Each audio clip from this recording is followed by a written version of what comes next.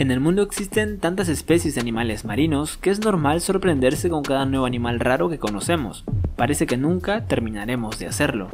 Y es que existen 250.000 animales marinos conocidos y se calcula que aproximadamente el 70% de especies marinas son aún desconocidas, ya que el vasto mar es inmenso y sobre todo profundo, tanto que cada vez que llegamos a nuevas profundidades tenemos noticias de nuevas especies descubiertas cada nueva especie más extraña y única que la anterior. El gusano marino que conoceremos hoy es una de esas miles de especies marinas que nos escarapelan el cuerpo, pero que a la vez nos dejan maravillados con su existencia. Antes de empezar, recuerda que puedes apoyarnos suscribiéndote al canal y dándonos un me gusta. Apreciamos mucho tus comentarios. Este es el gusano bobit, o bueno, al menos es el nombre común con el que se le conoce. Su verdadero nombre es Eunice saproitois y es un cazador y depredador marino insaciable y muy especial. Este gusano marino vive en aguas tropicales y subtropicales de países como Indonesia, Australia, Filipinas, Japón y otros pocos donde el mar se ha templado, pues no les gustan las temperaturas bajas. A diferencia de los gusanos terrestres, los gusanos Eunice pueden llegar a medir hasta 3 metros de largo. Mmm, si fueran un poco más gorditos nos podrían comer fácilmente con ese tamaño. Algunos buzos afirman haber visto gusanos de hasta 10 metros de largo, pero esos avistamientos no han sido verificados, así que tomémoslos como avistamientos falsos. Lo que sí sabemos es que crecen muy rápido, sobre todo cuando habitan zonas marinas con bastante alimento, y es que mientras más comen, más rápido crecen y también más hambrientos se vuelven.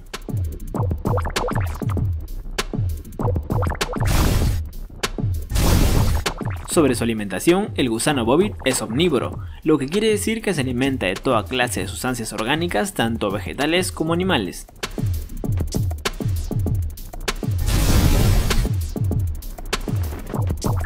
En su mayoría, suele comer peces, pulpos, calamares y hasta pequeños tiburones, pero también come algas e incluso come a otros gusanos. Son gusanos nocturnos, por lo que suelen cazar a sus presas en la noche y en plena oscuridad marina. Pueden cazar en la oscuridad, pues tienen 5 especies de antenas que contienen receptores de luz y químicos, que, cuando tienen una presa cerca, se activan haciendo que salgan de su hogar de arena y atrapan a los peces, a los cuales se aferran para poder arrastrarlos rápidamente hacia el suelo marino.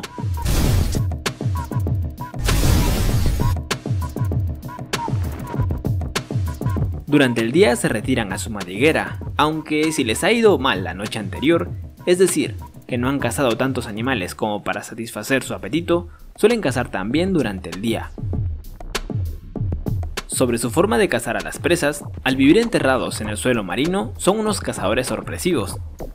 Solo dejan en el exterior del suelo marino la parte del cuerpo donde tienen la boca, esperando pacientemente a sus presas.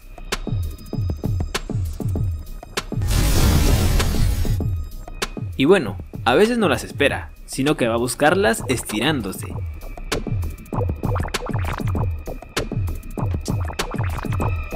Ya que aparte de ser largas, tienen mandíbulas retráctiles en forma de resorte, pero claro, siempre dejan una parte del cuerpo dentro del suelo marino para poder retornar con mayor facilidad hacia el interior.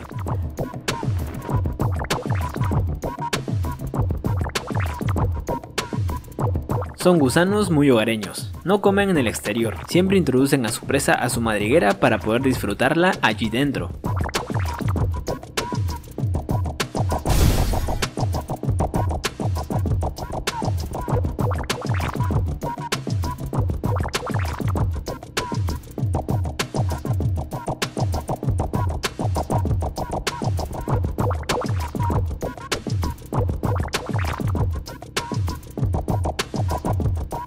Tienen potentes mandíbulas en forma de tijera con las que capturan a sus presas. Son fuertes, tanto que logran partir por la mitad a sus presas. Además, inyectan unas toxinas que logran aturdir y en algunos casos matar para que al estar en el interior del animal puedan ser digeridas sin problemas. Ya saben, sin estar moviéndose o cosas así. Nadie quiere comer y que luego la comida esté moviéndose en su interior, ¿verdad? Es un cazador completo, ya que posee incluso una armadura. Así es, este gusano marino tiene lo que se conoce como un exoesqueleto. Es muy duro y lo recubre completamente, protegiéndolo de ataques de algunos depredadores. Así que podríamos decir que este gusano marino tiene una armadura. No los quiero asustar, pero pueden optar por dar mordeduras si un humano se acerca demasiado. Sumado a eso, están cubiertas con miles de cerdas que son capaces de infringir picaduras, que causan entumecimiento en las zonas picadas en personas. Ah, ¿quieres que te cuente algo interesante sobre su nombre? Asumiré que sí. Su nombre, Bobbit, o bueno, pronunciado en inglés, Bobbit, o algo así, se lo dio un investigador, ya que al ver la mandíbula parecida a unas tijeras, le recordó el caso policial de los esposos Bobet, donde la esposa, Lorena Bobet, le cortó la mitad del pene a su esposo. Por eso decidió llamarlo el gusano Bobet. Por favor no olvides dejarnos un me gusta, no te cuesta nada y a nosotros nos ayuda mucho. Si te ha gustado el video, puedes suscribirte al canal o comentar qué te pareció. Nos vemos.